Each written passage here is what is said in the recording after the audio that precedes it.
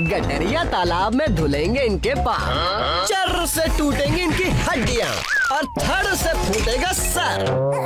कुछ भी करेंगे ये आपको हंसाने। चाहे सर से अलग ही क्यों ना हो जाए इनका धड़। देखिए भैंस की टांग। सोमवार से शुक्रवार, दोपहर साढ़े बारह और रात साढ़े आठ बजे।